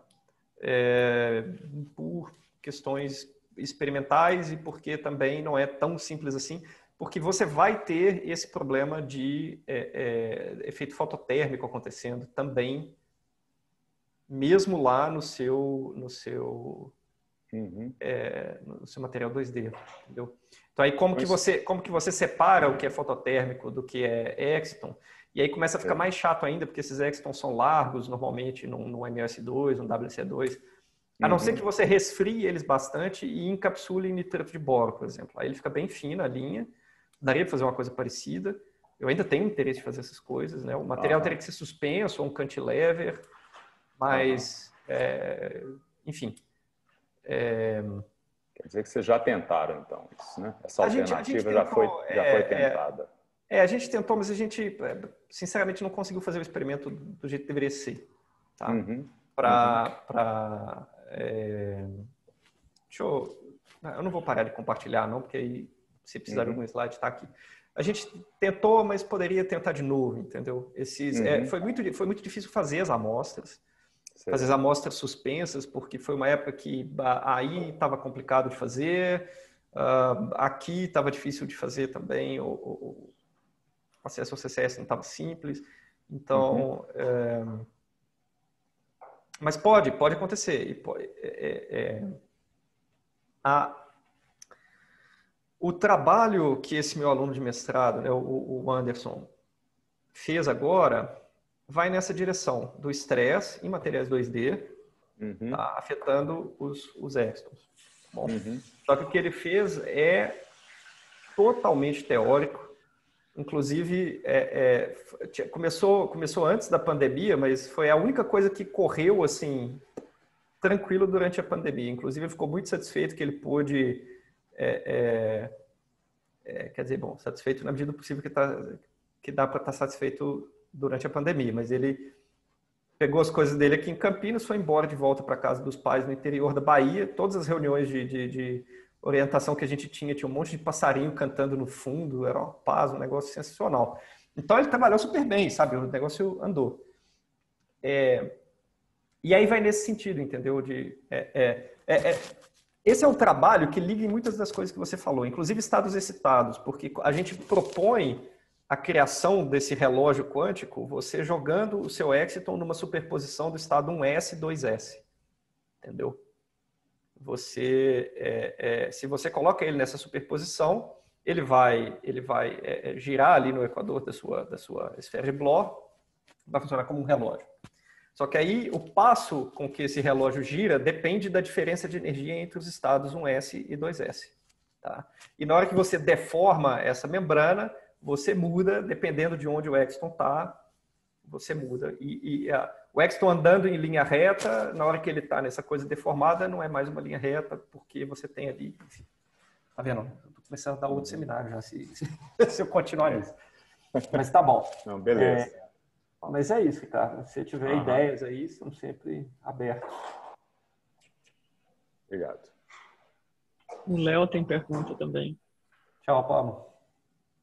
Pierre, obrigado pelo excelente seminário e bom é, nessa parte final que você falou dos emissores de fótons únicos é, baseados em, em materiais 2D, eu tenho algumas dúvidas e por coincidência os trabalhos que você apresentou são aqueles que eu mais gosto, por exemplo aquele do Ferrari que ele encapsulou um, um, um TMD e aplicando potencial ele excita o Exton e tem emissão de fóton único sem bombardear com laser e tal. Uhum, uhum. Mas o que eu achei, é, é, o que eu acho um pouco curioso é que, em geral, a emissão de fótons únicos vem de um defeito uhum. no, no TMD. E aí, quando você lê a literatura, você vê o seguinte: o pessoal meio que achou onde o, o fóton único é emitido. Eles vão mapeando é. e de repente acham um lugar e falam assim: ó, oh, aqui tem uma emissão de fótons únicos. Nesse trabalho do Ferrari que você mostrou, por exemplo, do diodo, né? Eles acham numa interface de single layer com, com bilayer, se eu não me engano, é, de deixa MRC2. eu voltar aqui para o resto do pessoal ver o que a gente está falando. Esse, esse aí, é. É, esse é um trabalho muito legal, né? Que você aplica É, esse, potencial. Esse não é o. Ah, bom, tá. É Ferrari, Ferrari, é o penúltimo autor, tá vendo? Autor, eu sempre, por, eu sempre falo por... que esse trabalho é da Carmen, mas. Eu sempre falo o nome de quem eu conheço no trabalho. Eu conheço não, é, pois é. e fica fácil para eu lembrar. Mas a minha dúvida é a seguinte: é, por que os defeitos é, são os catalisadores das emissões. Você meio que diz que quando você curva o material numa ponta, é, você tem, você minimiza a, a energia ali, alguma coisa desse tipo, e os, os extons acabam indo para ali, depois dali começam a emitir. É, você fez algumas contas, né, nessa de, de, nessa direção, assim, você entende por que que esses defeitos é, são alguns defeitos que catalisam o processo de emissão de fótons únicos, e você teria uma ideia de, ok, se eu quero criar, é, criar artificialmente um, um local para emitir fótons únicos em TMD, o que eu deveria fazer? Não, então, mas a, a resposta é esse outro artigo da Carmen, é, que ela fez isso, né? A gente tentou fazer isso no, no, na dissertação do José Davi, tá? A dissertação do José Davi, a gente, a gente fez isso antes desse artigo sair. A gente estava tentando fazer só que o processo inverso. Aqui ela, aqui ela transfere para cima de uma cama de pregos, né? Lá a gente, eu não sei se você lembra do, do trabalho do José Davi, a gente vinha com uma, uma ponta de FM e indentava o material, tá? É, inclusive, depois tem um pessoal do laboratório da Marinha dos Estados Unidos que fez indentando o material. Eu fiquei revoltado, porque era exatamente o que o José Davi fazia e ele não conseguia ver e eles viam. Normal, né, ah, né, cara? Na nossa área, toda ideia que você acha que tem original, é, tem centenas de pessoas fazendo, mas não, não, já é, costumou é, viver é, com isso. É, é, mas então, deixa eu entender, nesse trabalho, a, os pontos brilhantes da figura, sei lá, D, isso. eles eles emitem, eles têm esse espectro da figura C ao lado, que tem essa esse decaimento no zero ali, onde tem mostrando que tem emissão de fóton único, é isso? Isso, então, olha só. Vamos por é com relação. Nessa figura D, tá meio ruim de ver aqui, né? Porque eu tenho mania de entuchar de figura o, o, o, o slide. Mas aqui, ó, nessa linha que eu estou apontando, tá vendo? Uhum. Tem um quadrado, um retângulozinho. Sim. Esse retângulozinho é isso aqui, tá? Então são esses pontos que a Carmen vai olhar, tá bom? Só que isso aqui é campo, é campo escuro, tá? Uhum. É dark field, sim. E isso aqui é fotoluminescência. É, mas a, a, figura que mostra a emissão de fóton única é a 6. É a C. É a C, é, né? é a C. Correlação. É, aí você faz a correlação, exatamente, exatamente. Isso. Então, então quer dizer, sobre é, é uma deformação mecânica é, é, eles observam. Já, então, a história atual é, ok, com alta deformação ou um defeito, você consegue emissão de fóton único. Então, a minha na verdade, eu acho que é tem um... É, eu acho que não é ou, eu acho que é e, tá? É, isso é uma coisa que eu nunca vi bater em um martelo, mas eu acho que já está mais ou menos batido nessa direção de que é e, tá? Quando você faz essa deformação, você induz o defeito aqui. Tá, mas no artigo do Ferrari é uma estrutura plana, né? Não, tudo bem, porque é um defeito espontâneo. No, no outro da é Carmen, falta desculpa. de enxofre em algum lugar, ou uma falta de selênio. Né? Ok. Tá? É, eu não lembro se nesse aqui é de seleneto ou de sulfeto, mas é é uma falta de, de, de... uma vacância. É, uma vacância, é uma vacância de calcogênio que tá que te que te cria isso aqui, entendeu? Cria um trap Uhum. Né? E aí o seu Exiton, o seu Exiton fica aprisionado aqui, entendeu? Porque o que, que acontece? Isso é uma coisa que eu discuti muito com o Paulo Sérgio na época que a gente estava fazendo o trabalho do José Davi. É, esse Exiton, por conta do que o Ricardo lembrou, né, que é a questão da, da energia de ligação que é muito alta, esse Exiton é muito pequeno. Né? Ele é um Exiton de um nano de, de, de tá? Um nanômetro. Então, é, é, você não consegue chegar no confinamento quântico simplesmente por ter esse esse estresse aqui na ponta. Não é suficiente, entendeu? Você teria que ter uma coisa ainda mais curvada. Uhum. Tá? Então, isso aqui funciona mais como um funil. Tem um artigo, acho que é o Nature Photonics, antigo, que o pessoal propõe de você fazer isso aqui para fazer light harvesting. Né? Você faz esse funil e aí você é, é, poderia usar para célula fotovoltaica. Eu acho que nunca fizeram isso, só tinha proposta. Tá? E o que ela observa aqui, Léo, é em cada um desses pontos você tem um espectro onde tem é, é, não é um. É, é, é, talvez você tenha aqui, inclusive, mais de uma, um defeito, tá? Mas ela pega esse pico, tá? Que é o mais estreito e mais intenso. E aí, na hora que ela faz o G2, ela pega G2 muito baixo. Tá? Bom, ponto é interessante, 17, né? É surpreendente, mas ponto, ponto, ponto 08 já é muito bom. É, mas é bem interessante que você tem, é de fato, eu não tinha notado isso, você tem várias linhas, né? Como se tivesse um ponto quântico mesmo ali, né? Não é, é. só a fotoluminescência do, do, do TMD que está ali. Não, é. é. Cara, é, isso, é, isso é meio complicado. Eu não, que eu me lembro, ela não estuda tudo o que está acontecendo aqui, não. Ela olha mais para os fótons únicos, entendeu? Então, ou seja, dentro desse pilar aqui, você tem outras coisas acontecendo, entendeu? Uma delas é a emissão de fótons só que, ou seja, se você cria o, o, o, entendimento que eu tenho é, se você cria o funil ali e ali já tem um defeito que você induziu por conta do, do... porque esse cara é um espeto, entendeu? É, é, inclusive vários aqui, então ela, ela, fura mesmo a membrana e aí na hora que fura e rasga aí babau, né? Não funciona mais. Você quer só que ela dobre e tipo trinca já, né, né, né, nem é a palavra certa, mas você entendeu, né? Ali você vai induzir uma vacância por algum motivo. Tá? Legal. Obrigado. Por nada. E aí, enfim, é, é cara, essa é a ideia. É, é, é, e que a gente já, já queria estar produzindo amostra. É, todo dia eu converso com a, com a, com a, com a Ingrid para ver o que, que a gente pode fazer para produzir amostra durante a pandemia, mas está difícil. Agora, talvez a gente comece a conseguir voltar mas a gente já devia estar produzindo amostra, tanto da parte do nitreto, né, para fazer o, o, guia de onda e fazer tudo, quanto a parte do, da, da heteroestrutura para depois transferir para cima.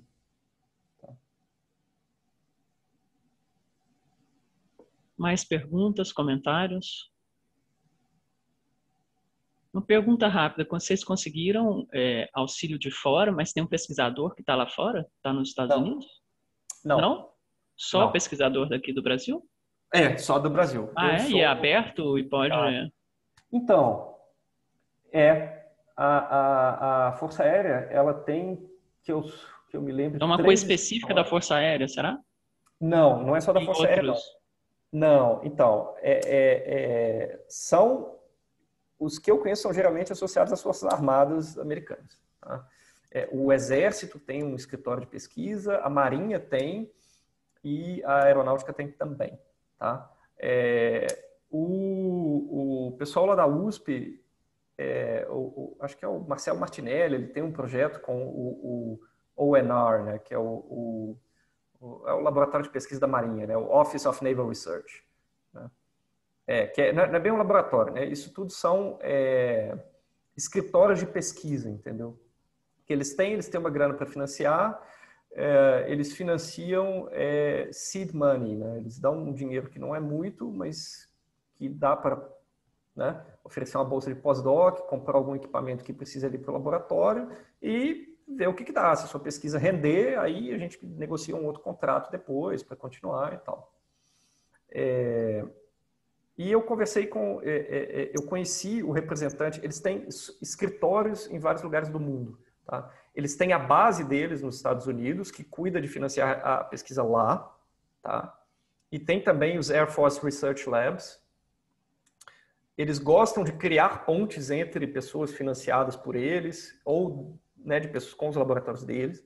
Só que isso não, não deu para fazer por conta da pandemia, mas antes da pandemia, todo ano eles organizavam um encontro lá no Chile, que é onde fica a base do, do SWORD, né, que é o, o, o Southern Office é, é, que é o, Escritório Sul de, de, de Pesquisa da, da, Força Aérea. Eles têm um escritório sul, tem um escritório na Europa e tem um escritório na Ásia, eu acho. Tá? É, e aí eles têm é, é, é, aberto para várias áreas. Depois eu posso te mandar se quiser. É, porque pra... como a gente está com um problema de financiamento, né, de projetos e tal, então... É, enfim, tem, é, uma, é, é, é, bem legal, eles são, eles são é, é, é bacanas de, de, de, lidar né, com as pessoas do, do, do, do, escritório. tem suas peculiaridades, porque como é uma um dinheiro vindo de fora, eu não sei como é que é na FMG, mas a burocracia interna da Unicamp é, não é, deve ser fácil muito, de receber o dinheiro, né? Não tem costume de lidar, entendeu? Uhum. É, e é um dinheiro que vem em dólar, só que aí uhum. você tem sempre o risco. Porque ele vem em dólar, só que, quer dizer, no meu caso específico, para compra de equipamento, ele sai de novo em dólar, só que aí nesse caminho você pode perder dinheiro uhum. com conversão, que foi o que aconteceu comigo. o dinheiro entrou logo antes da pandemia e aí depois o dólar explodiu. Uhum, é... uhum. Tá. Mas enfim, é, é, é, é, possível. possível. Depois eu, te, depois eu te passo os detalhes. Tá bom, bom saber. Obrigado. Imagina. Então tá. Mais algum comentário, pergunta? Eu acho que é isso, Pierre. Muito obrigado Beleza. de novo. Pô, eu que agradeço. Foi muito legal. Obrigado a todos por terem vindo, por terem tido paciência de me escutar falando aí durante uma hora e meia. Eu Mas vou é parar isso. a gravação